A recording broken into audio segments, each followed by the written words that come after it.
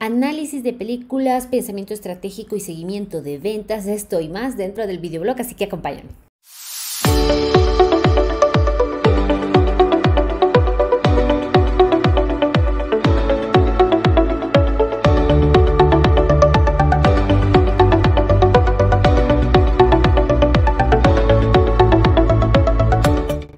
Negocios en Digital 905. Hola, hola, ¿qué tal? Nuevamente bienvenidos al podcast, al programa de negocios en digital. Ya saben, el podcast en el que nos encanta hablar de los negocios, hacer reflexiones y hoy, pues compartir nuestras experiencias también para que sean de em, aprendizaje también para ustedes, ¿no? Hoy estamos un viernes más, 11 de marzo del 2022. bueno, estamos terminando, más bien dicho, o empezamos este podcast con toda la energía. Y créanme que hay momentos en, en la vida en que Claro, recibes en bajones. Yo les confieso que la semana anterior he pasado eh, un poco bajoneada por temas de salud incluso, pero el estar en constante aprendizaje, el interactuar con otras personas, el nutrirte nuevamente, el afilar la sierra, como dice eh, Stephen ayuda, ayuda un montón. Así que nuevamente estamos vibrantes, con toda la energía, con todas las ganas de que esto pues eh, va a salir, los proyectos, los anhelos, las luchas, que yo sé que todos los que me están escuchando están pues con sus proyectos y espero de todo corazón que salgan adelante.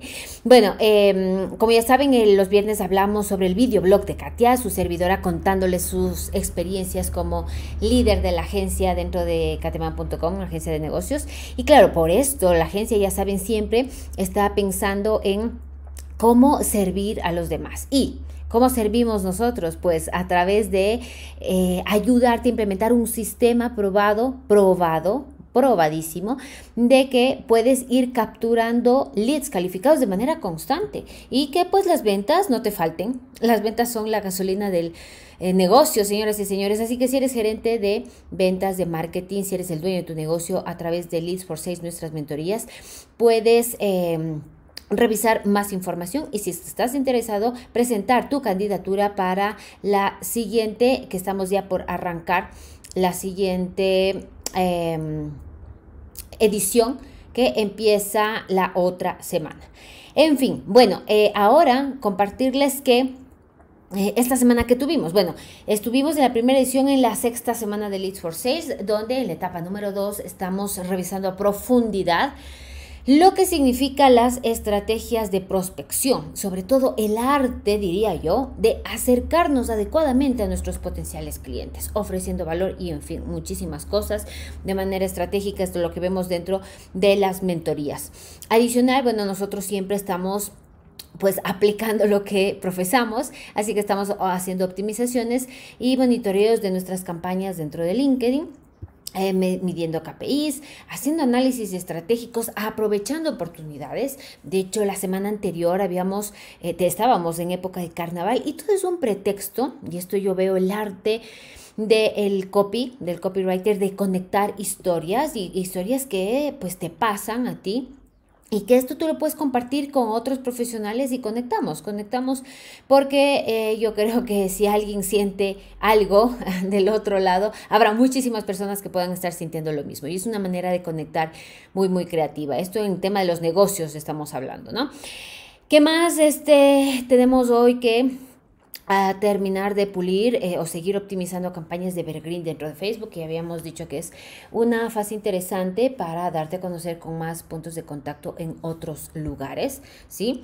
Eh, optimizamos la web también junto con el apoyo de Alexito, mi hijo, para ir optimizando el, slide, eh, la sidebar que teníamos para pues mejorar la conversión dentro de la web. Esto también siempre se lo, lo vamos revisando. Y eh, dentro de nuestra constante aprendizaje, que lo, que les decía al inicio, em, yo estoy ahora trabajando con, o estoy estudiando con Now to Business, esta agencia que realmente te ayuda y te da, eh, digamos, eh, más, digamos, herramientas, networking para ir mejorando las habilidades de negociación B2B. Dentro de esto hicimos el análisis de la película En Busca de la Felicidad y realmente Ay, es que me llena, me llena, me motiva. Incluso hasta el final te arranca lágrimas porque es impresionante como cuando alguien tiene esa convicción, ese norte, ese horizonte, a pesar de que todo esté contracorriente, se logra.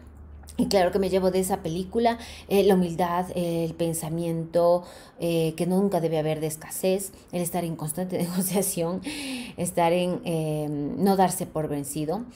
El, un arma poderosa que es pedir perdón y estar dando algo de valor para que haya un sentido de reciprocidad. Eso entre muchísimas otras cosas, ¿no?